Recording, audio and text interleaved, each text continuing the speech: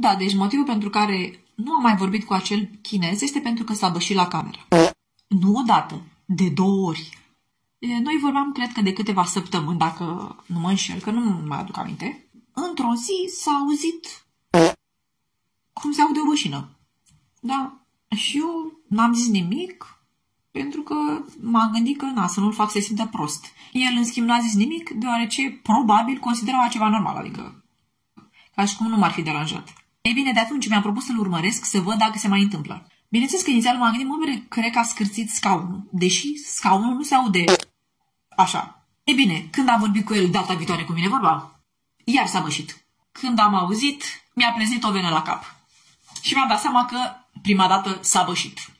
Și prima dată. Deci asta a fost a doua oară. Și eu l-am întrebat, ce a fost asta? Și el zice, a, păi știi, s-a auzit fereastra. I-am zis că nu, știu ce ai făcut, dar nu este ok. Și am început pe acolo să fac o morală.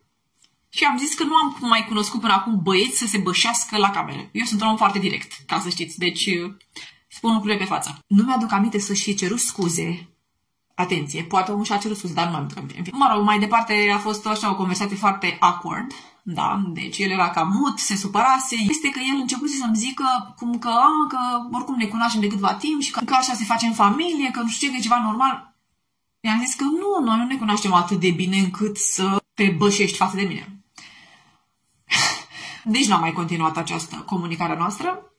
El s-a supărat pe mine pentru că probabil eu i-am reproșat că s-a bășit și eu m-am supărat pe el pentru că s-a bășit de două ori în fața mea la cameră.